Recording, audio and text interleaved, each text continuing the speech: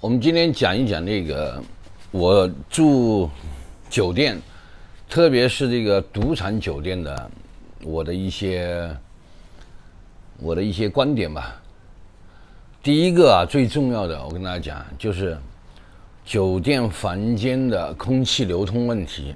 那么呢，我们就说这个酒店呢，大概呢就就是在我的心目中啊，大概把它分成三类。第一类就是呢。比如说，在澳门最普通、最常见的，就是房间的酒店房间的窗户全部是紧闭的，呃，从来不能打开的。就是你任何时候住，你今年去，五年以后再去，十年以后再去，窗户永远是不开的，啊，不管它是高端的还是还是那个普通的酒店。那么呢，这个呢，我们在澳门呢也可以理解，因为什么呢？因为澳门是比较这个，呃，空气比较潮湿，那么潮湿呢就容易引发很多病菌，包括墙面啊，还有它一些装修的啊，这个家居啊和什么什么这个木材啊这些东西啊，它都容易这个这个生霉，还有很多病菌，所以说呢，它就不开窗，不开窗呢，主要是挡住这个湿气，另外呢，再就是这个冷气。有这个抽湿的这个功能，啊，那么还有一点呢，就是说防止你跳楼，对不对？那么这是第一种酒店。那这种酒店呢，我我在澳门我是坚决不住的。我告诉大家，啊，那第二种酒店呢，也是不开窗，不开窗，但是呢，它的这个它的这个叫我们叫什么？叫空气的这个换风的这个系统啊，做的非常好。你比如说像永利酒店。呃，包括美高美也算不错，啊，呃，还有四季酒店这些酒店，呃，你包括星级酒店，我都不觉得它做的有多好，就是它这个换风系统啊，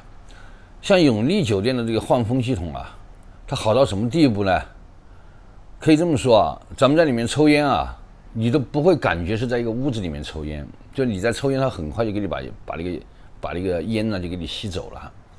这个是我觉得这个。这种酒店呢不开窗呢，我是觉得可以的，完全可以的。那么第三种酒店呢，就是像这样的，它是有可以开窗啊啊，可以开窗有阳台的，那就非常棒了。这种酒店啊，但是呢，这种酒店也有也有它的这个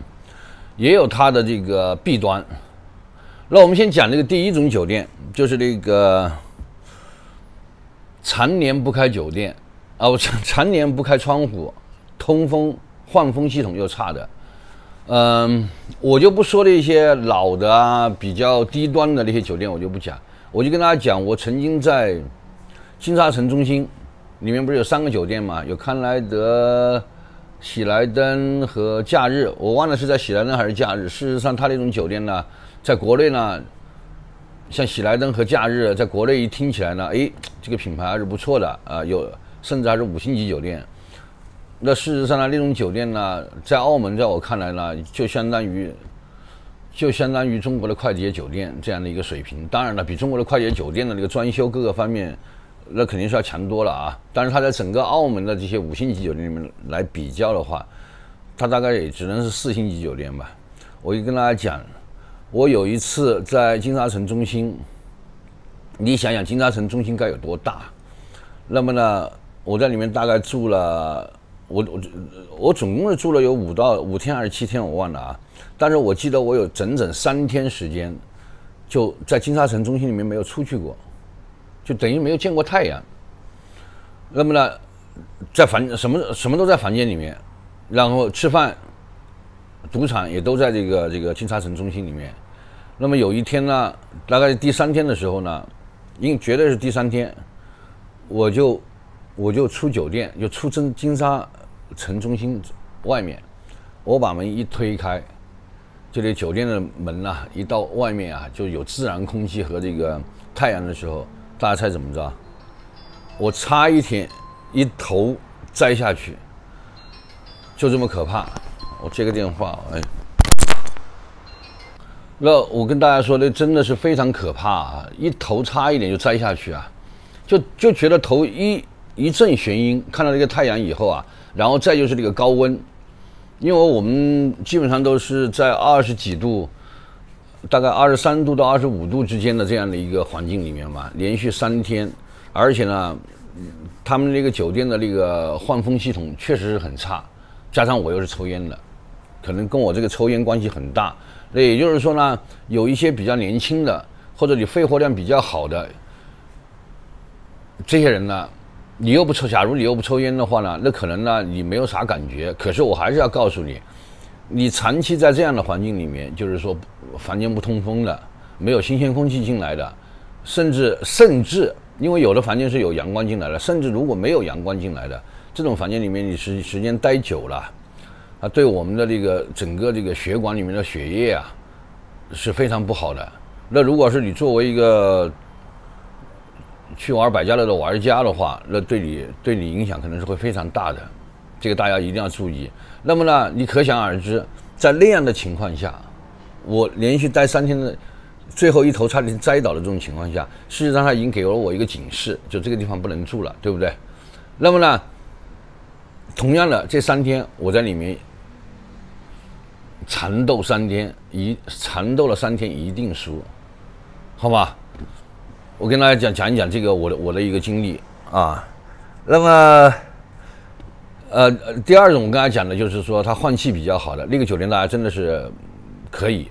那么，那么像像这种酒店呢，它要比我刚才说的，比如像像澳门的啊，澳门的喜来登啊这些酒店呢，它可能要翻它一个倍啊，它可能那个那种酒店可能，呃，我们我们赌场送钱送的我们就先不说啊，我们假设那种酒店就是说一般正常的八九百港币或者一千港币，那么呢，像我说的这种通风比较好的。但是也不能开窗的，呃，它的这个价格大概就是翻个倍，大概要在两千块钱左右。那事实上，你到赌场里面，你去下注，最低注也要一千两千啊。所以说，但是我们有时候呢，我们就会就会在这种小钱上面啊去计较，那么呢，它影响了你整个的这个一个大局。这是这是这其实是我们。我们我们这是我们很多玩家容易犯的错误。我们说“工欲善其事，必先利其器”。那虽然这个房间不算是你的一个工具武器，可是它是你的一个条件啊。你可能你可能在这个房间里面，加上你正常的睡眠时间，以及就你正常的睡眠时间，以及你还有其他的休息时间，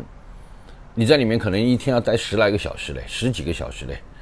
那这十几个小时的环境。它对你的人的影响非常大的。好，那么它要你增加多少成本呢？翻个倍的成本，也就是说一千块钱成本，大概就是这样的啊。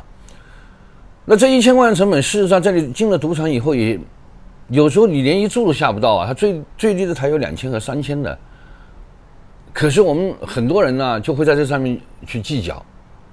那么如果你要是计较这一块的话呢，我建议大家啊，不如直接去住民宿。去找一个环境比较好的，它可能房子不是那么新，可是呢，它窗户可以开很好，它可以把窗户开的这个这个，呃，通通风，有阳光，啊，你你你就是一个正常人在澳门在生活，那如果你住在我刚才讲的那种封闭的不通风的那种房间里面，虽然感觉好像整体的环境啊，装修啊，整体的环境都还不错。但事实上，你不是在过一个正常的生活，那你的大脑就就会变得不正常嘛。